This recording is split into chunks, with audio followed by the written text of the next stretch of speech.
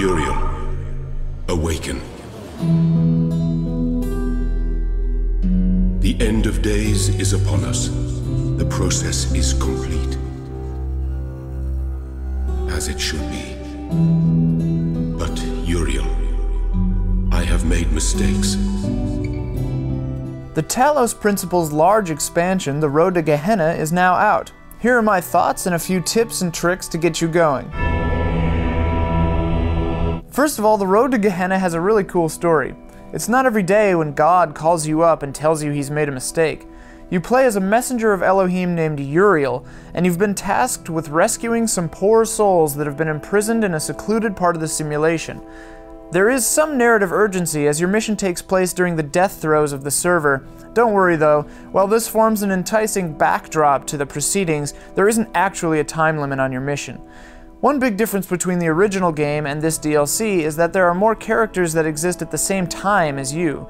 You get to know them through charming interactions on the beeping Ian computers in each area. I could go on, but I don't want to spoil any surprises. There are four worlds, each with four main puzzles, not counting the collection of the various stars, but I'll get to that in a minute. These puzzles are pretty tough. This expansion is meant for experienced players, and as such, the puzzles on display here don't hold back. To solve all the main puzzles, it took me maybe, I don't know, like 8 hours.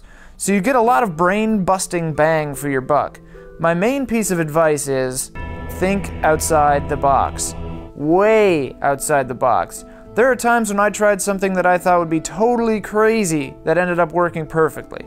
A few times I did things that I'm still not sure were actually the right way to do it or just some crazy exploit, but either way, the puzzles never feel dissatisfying. When you solve a puzzle, it makes you feel like a super genius. It makes you so happy that you could almost do a jig.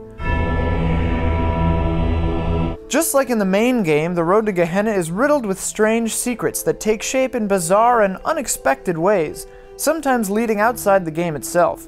One might just be an inside joke nod to someone on their forums, I'm not really sure.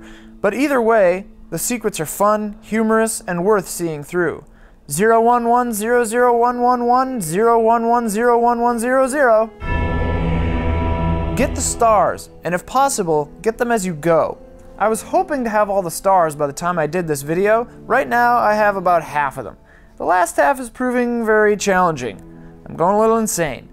One of the stars, I broke a box out of a puzzle and jumped up to get, only to later spend a while getting this crazy fan to work that would have just thrown me right into it anyway. The one that's really giving me trouble is the one in the middle of Crater. I've gotten all the fans working, I'm just bouncing back and forth. I can't jump to the box, I don't know what I'm not seeing. Give me the star, Gehenna, you sons of bi- Take your time, and above all, have fun. There's no rush, and it's not a competition. Just enjoy giving your brain a workout keep your cool. I'd give The Road to Gehenna a completely unofficial score of like uh, 9.5.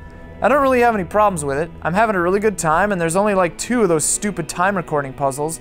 So hey, if you like laser puzzles and thoughtful, interesting narratives, and probably if you beat the main game, The Road to Gehenna is for you. Check it out and let us know what you think of it. Undo my mistake. Please, save them.